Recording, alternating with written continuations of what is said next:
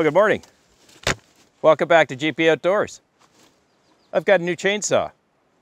It's an Oregon CS300, battery operated. If you've got a little bit of time and a coffee, stick around.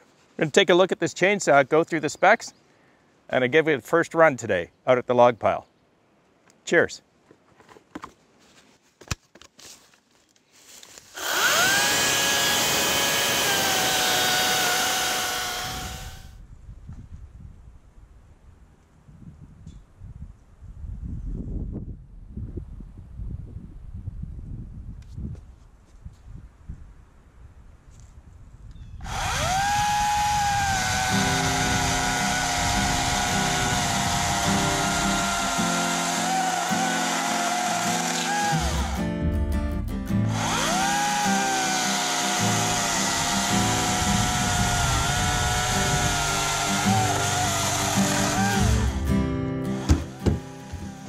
The CS300 by Oregon, it's just one of the many different tools that they have in their cordless tool system. It's a battery operated chainsaw. Let's take a look at the specs.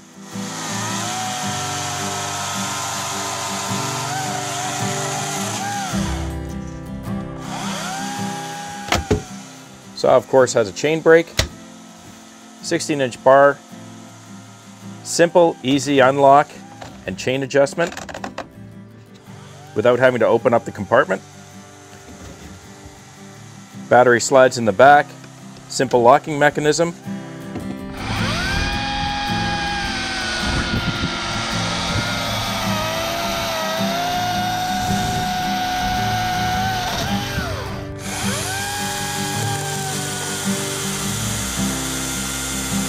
Oil reservoirs here on the side and it also has a small window into that reservoir so you can always see how much bar oil you've got left in the machine.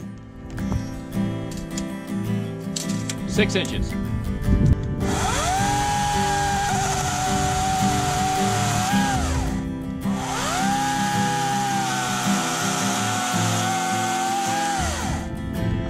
So other than being battery powered instead of gas powered, it's pretty similar to any other 16 inch chainsaw I've ever used, with one big difference.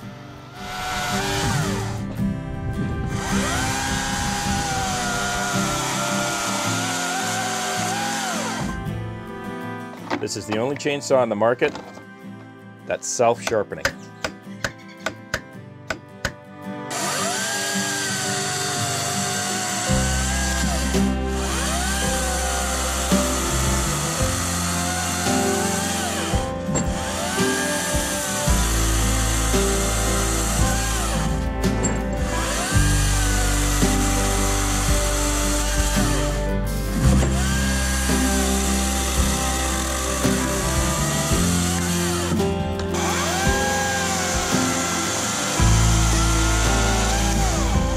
As you're probably aware, Oregon is a US based company and was in fact started in Oregon in 1947 with a revolutionary new chain design, which is now primarily the same shape and type of chain that is in use today for pretty much any saw that you can buy.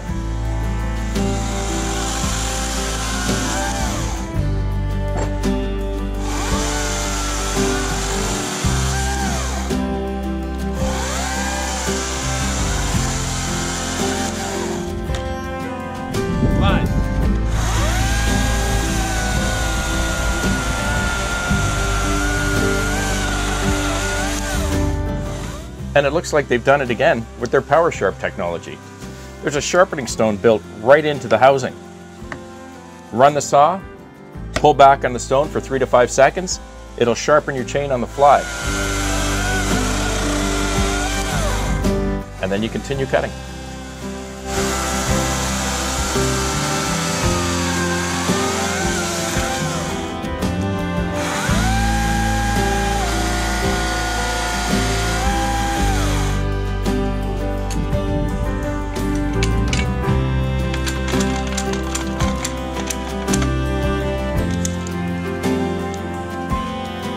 seven and a half.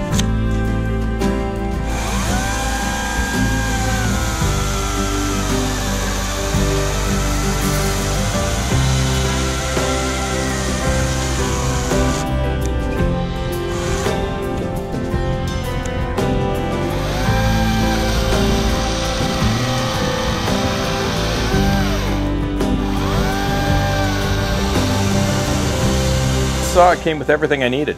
Battery charger, battery, all the components.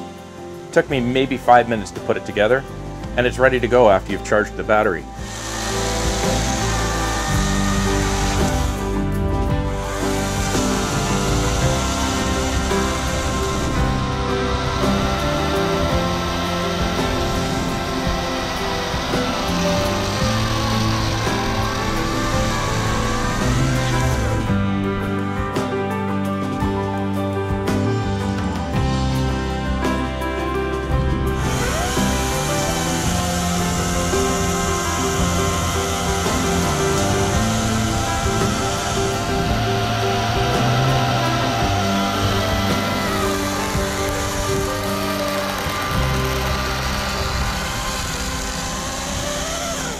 It comes in three different configurations. You can get it with a 2.6, a 4, or a 6 amp hour battery, and they're lithium ion batteries.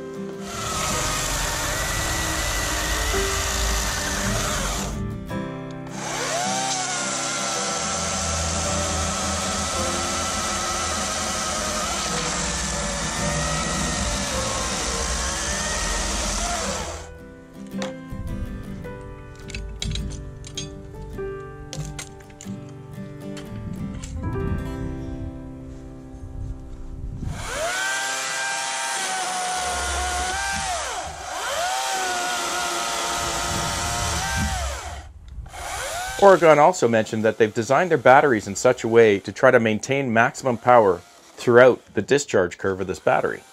In other words, as you're cutting wood and you're using power, as the voltage drops, the battery has been designed to increase current to maintain that power as long as possible through that discharge curve. We're about to find out.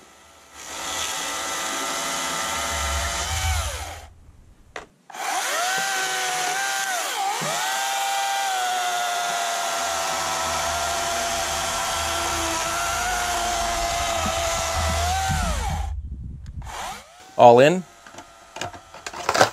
the unit weighs 13 pounds.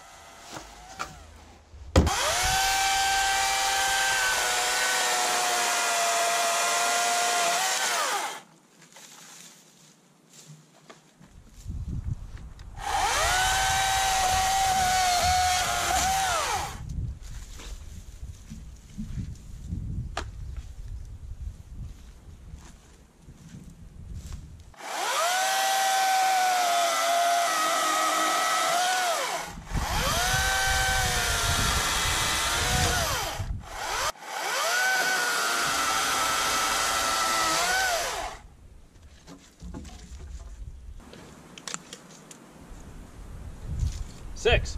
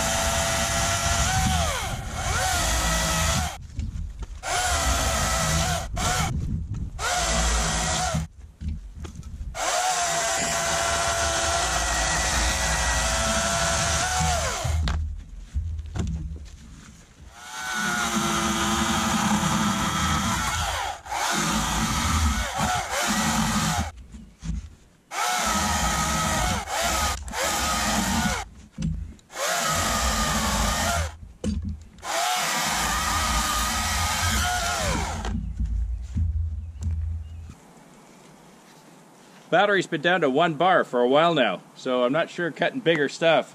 We'll see how long it lasts, but I'm pretty sure she's just about out.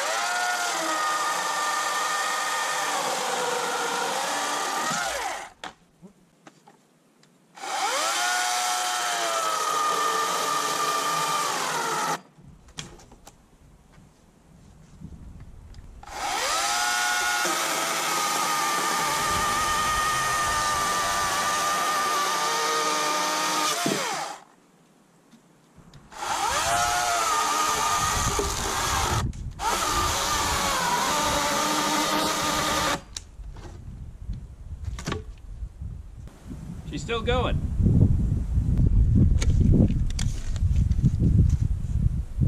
All right, seven and a half. This has got to finish off that battery.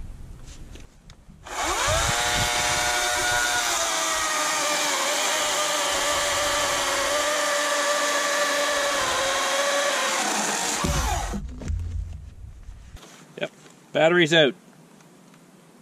But let's see if we get one more by.